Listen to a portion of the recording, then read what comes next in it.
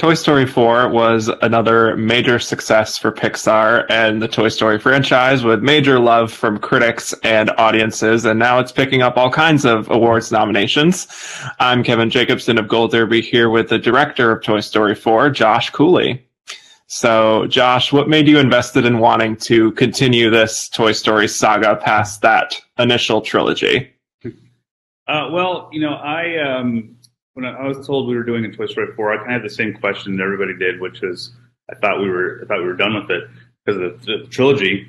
And um, but the idea that seeing what was next for Woody was really interesting to me because we've seen this character, we all know this character so well. But what is next for him? What would be the next step in his life? And so um, that and that and just being a super fan of Toy Story and just you know I saw the first two before I even worked at Pixar uh, I think I was 15 when the first one came out, and so uh, I just always loved the stories, always loved the characters, and to, so to be able to continue uh, the story of Woody in that world was something that was um, couldn't turn down. Mm-hmm. And I imagine there was a lot of people surrounding you who had an idea in their mind of what this film should be, what this film shouldn't be, and your process of sort of becoming the director wasn't necessarily something that happened right away, from what I understand. So, can you talk about um, just how much of what we saw in the final product was there when you first became involved, and then how much the focus maybe changed? Yeah, the, um, the you know early on, I think the from the very first version of the outline, Bo Peep was always part of the of that story and her return uh, was always part of it. In fact, we named the you know the code name internally was Peep from day one. So uh, I always love the idea of seeing what happened to her. Um, the uh, like you said, there's a lot of different voices because everybody is so invested in these characters in the world. And some of those voices were some of the original people that worked on the very first Toy Story. So I was lucky enough to work with with a lot of them and um, have you know get their advice on how to shoot things from a toy's point of view or how, what they did in the, previous films in order to really sell the idea of toys. And uh, and also where we've been with the stories before and how they came up with those ideas. And then on the other hand there was people on the crew that were you know um, toy story was the first movie they ever saw when they were you know when they were five. So and they were coming in from a, a super fan point of view. So it was really great to have this kind of very large spectrum of people that just have a lot of love for the um, franchise and in the world, um, and just hearing, you know, getting that feedback from both sides. Mm-hmm. And we have Woody, who really goes through another very powerful emotional journey here. And Bo Peep also, like you said, gets a pretty major focus as well. And their relationship is very central to the film. And they're both really trying to find their purpose. So, what was it about that approach to Woody's story and Bo Peep's story that really just compelled you to make it such a big focus here? Well, with Woody, it, it really was like, what is uh, what is next for him? Uh, we've seen this character go through a ton in three films.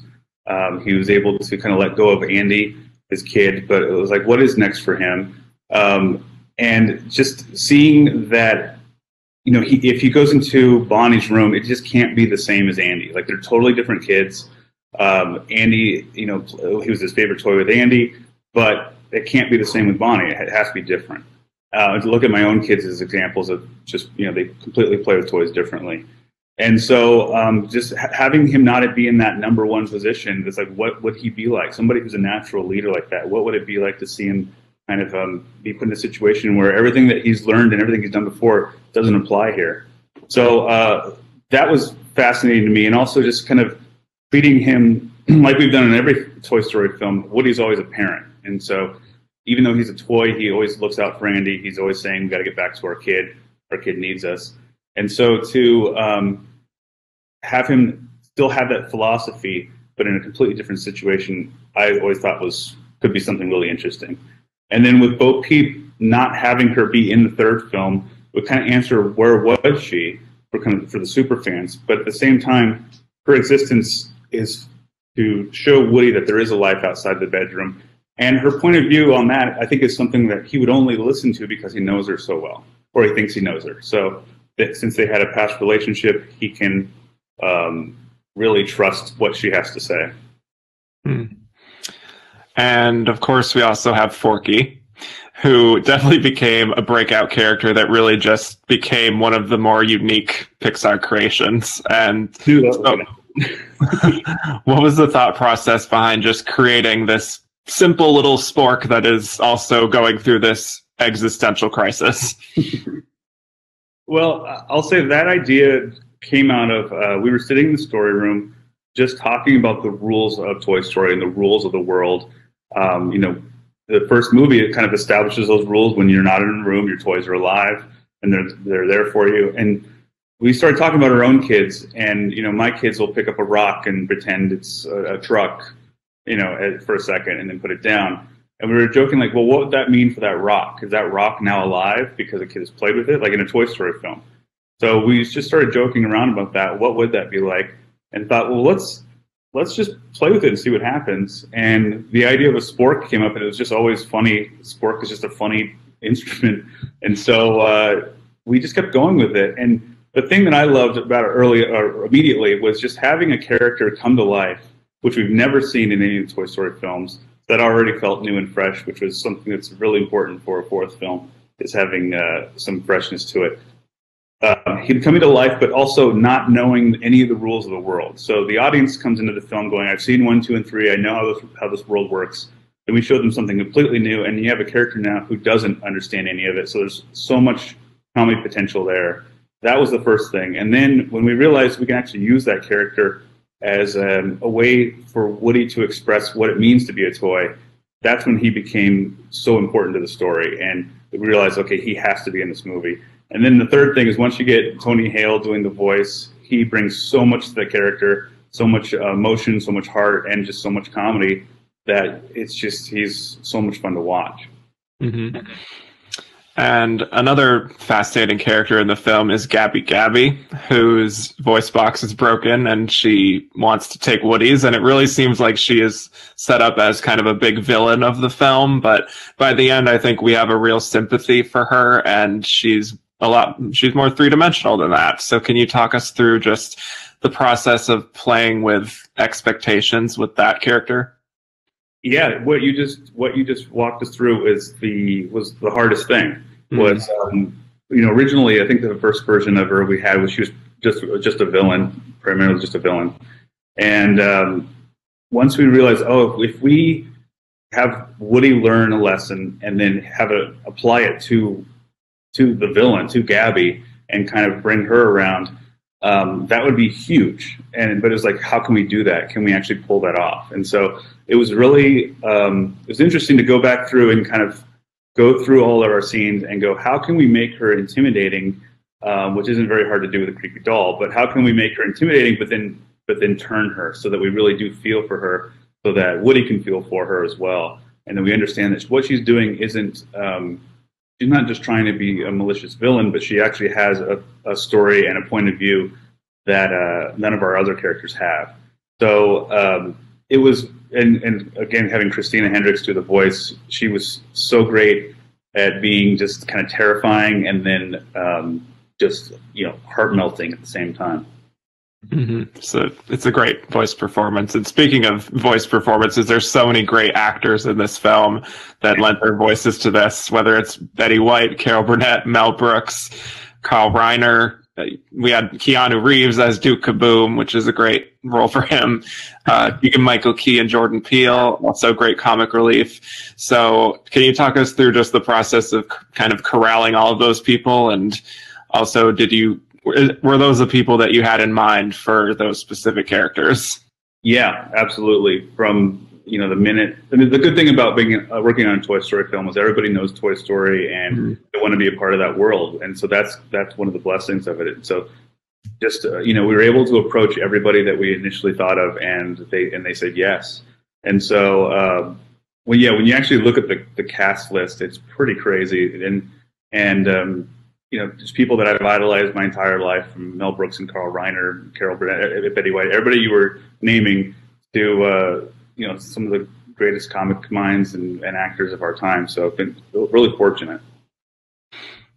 And also with each Toy Story film, I feel like there's been a lot of big advances in animation technology.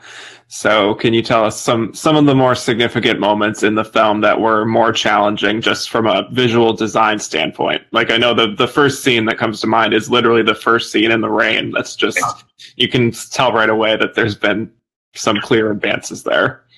yeah, a lot of love went into that that scene for sure. Um, that uh, I'm still kind of blown away by that by the rain. It when they showed me what they can do with the rain, and there's all the you know just to get technical for a second, there's all the, the raindrops that hit, and then there's the spray, and there's secondary spray, and then there's light bouncing all over the place. I don't even know how they do it, but um, it was gorgeous. And I just, I remember just telling them I wanted to feel like the toys at their level are just getting pelted. Like if this is the most violent rainstorm they've ever been, from an adult level, human level, it's just kind of more, it's a downpour, but from the toys, it's even worse. And so they were able to do that. And even down at the toy level, I think they blew up the uh, raindrops like 500% or something like that to make it look even even harder. So um, a lot of love went into that. One of the other biggest things was the antique store itself. We knew early on we wanted to have an antique store, but we didn't know if we'd be able to make a, a big one or if we'd be able to render, you know, 10,000 items in that store, which is what's in the store. There, there are 10,000 different items that have all been set dressed in there. Um, there's so many different like glass cabinets and, and different styles of wood and metal and all these different types of materials that are, are holding all these things in there. And so you have to put that all through the computer and see if the computer will even uh, will still work after that. And um, they were able to make it make it happen. So that was a big thing, especially since a lot of the film is, takes place in that store. Yeah. Um, and this was your first outing as a director, at least for feature length films. So, what was that experience like uh, compared to your expectations, maybe going into it? Uh, ooh. you always, I thought I knew what it meant to be a director, and it was, it was like, okay, this is not. You have to do it in order to fully to understand it for sure. Um, but the great thing was that I had such an incredible crew that I could lean on, and they, are just so great at what they do um, that just being able to just trust that, you know, the rain, for example, I'd say, can we do like a pelting rain? And they go, yes, let's, you know, we'll see you in a week and see what it looks like. And it would be unbelievable. Same thing with the story, same thing with the, the lighting, every kind of department, they're all so good at what they do that um, they're able to do what you're asking and so much more. So it was great. I had a really great point of view making the film where I could just see all these amazing puzzle pieces that are being created, and then they finally come together. Mm-hmm. And I don't want to spoil things too much for those who haven't seen it, but just considering how Toy Story 4 ends, do you still think that there is more story to be told with these characters in the form of a Toy Story 5, or do you maybe see like this is sort of the end of this story?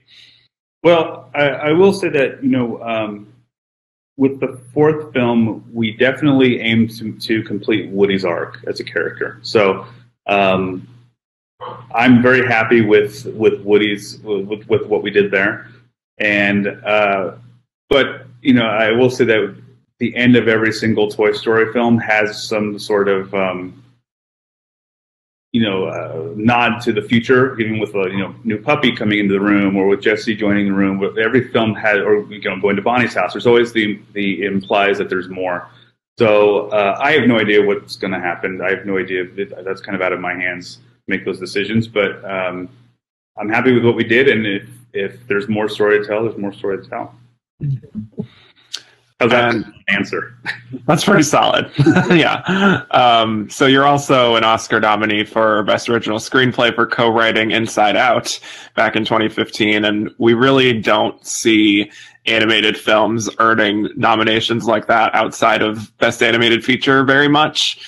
And I was actually wondering if you had thoughts on just how there does tend to be a bit of a bias against animated films in those other fields. And you know they also very rarely get into the best picture conversation. And yeah. you know what you would what you would say to people who think of animation maybe as slightly less impressive than live action that whole bias.